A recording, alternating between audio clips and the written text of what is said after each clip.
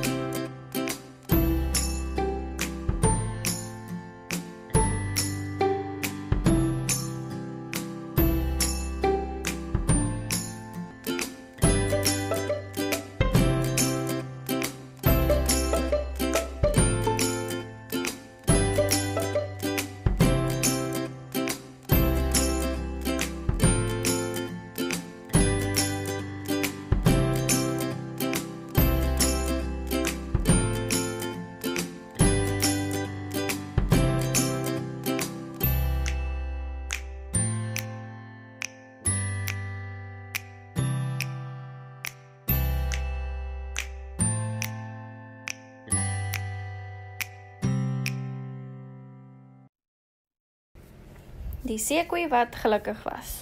Ek is verveeld, sê seekoei. Sy is nie lus om haar ma te help kos soek nie. Sy is nie lus om saam met haar pa in die son te lê en bak nie. Hier's net mooi niks om te doen nie, kla sy. Jy kan vir my 'n spesiale werkie doen, sê haar ma. Ek het 'n lekker sappige waterplant vir jou tannie gepluk. Sal jy dit vir haar vat? Nou goed, sê seekoei. Tannie seekoei bly aan die ander kant van die bos. Seekoei stap deur die digte plantergroei. Toef, toef, toef. Stamp sy met haar voete. Die geraas laat haar 'n bietjie beter voel. Tannie seekoei is besig met haar modderpad. Dankie vir die waterplant, sê sy. Wil jy saam met my in die modder speel? Seekoei se tannie wys haar hoe om 'n modderfonteintjies in die lug te blaas.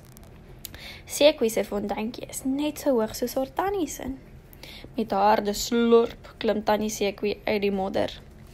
Ek het kraakvars boomwortels vir my vriend Kameelperd uitgegrawe, sê sy. Sal jy dit vir hom vat? Nou goed, sê Sekoe. Kameelperd is besig om blare van die hoogste bome af te pluk. Dankie vir die boomwortels, sê hy. Wil jy saam met my blare pluk? Kameelperd wys vir Sekoe hoe om teen 'n boomstam te leun en blare met haar lippe te pluk sê koei gegil, want die blare kiel haar lippe. Kameelperd pluk 'n tak vol heerlike bessies. My vriendin Apie sal baie hiervan hou, sê hy. Sal jy dit vir haar vat? Nou goed, sê Sekoe. Apie bly in 'n hoë boom langs die rivier. Sy is besig om van tak tot tak te swaai. Dankie vir die bessies, sê sy. Wil jy saam met my speel? Dit sal heerlik wees, sê Sekoe. Apie en Sekoe speel die hele middag speletjies. Hulle duik pardoems in die water. Hulle rol teen die heuwel af. Hulle deel die bessies en spat die lui ou krokodille nat. Die son begin aan die boomtoppe raak. Ek moet na huis toe gaan, sê Sekoe.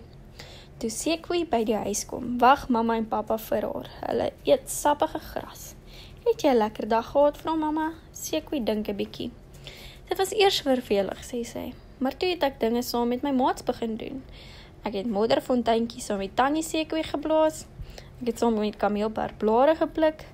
Ek het speletjies saam met Apie gespeel. Dit was 'n briljante dag.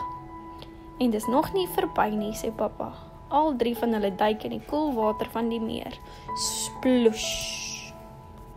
Asseblief onthou om vir ons enige foto's of video's van julle gunsteling boeke te stuur of selfs net enige toertjies of talente wat julle kan doen.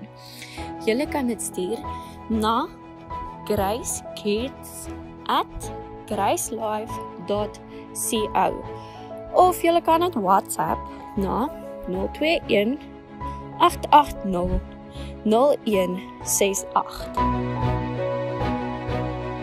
Jesus gee vir ons slim koppe, sterk lyfies en mooi hartjies.